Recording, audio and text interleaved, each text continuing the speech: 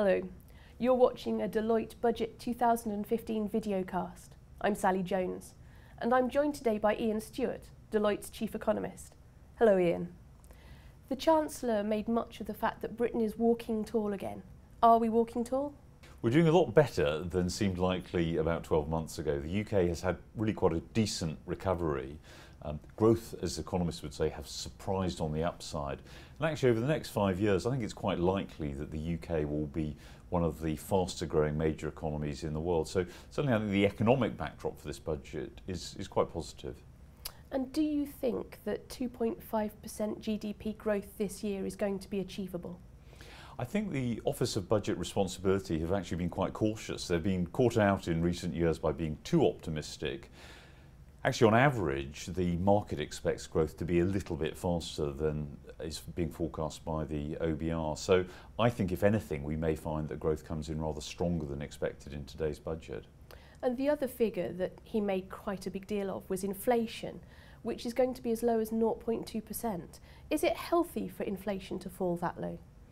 Not if it's sustained. And I think that the key element in this forecast is an expectation, which certainly I share and I think is widely held in the markets, that this will be a temporary period of very low inflation. And what that will do is give a big boost to consumer spending power, real consumer incomes, and that will help sustain consumer spending. So I assume that what we're seeing is the effect of very low commodity, in particular oil prices on inflation. Next year we'll see inflation bounce back. And of course, one of the advantages of low inflation is a reduced interest payments on government gilts, one of three windfalls he announced.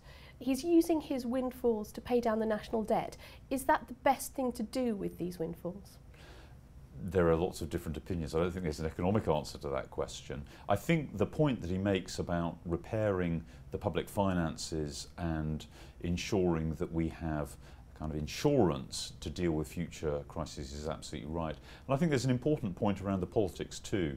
Generally, it's easier to cut public expenditure in the early years of a parliament, as indeed he's announced today, rather than the latter years. So I think it's quite sensible to maintain the pace um, in terms of deficit reduction over the coming years. And the Chancellor suggested that there was another £30 billion of spending cuts still to come. How's he going to achieve that? Well, the bulk of it's going to come from cutting um, departmental expenditure.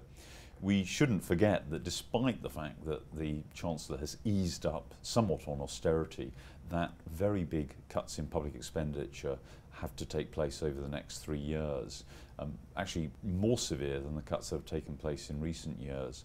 So there's a lot of austerity still to come.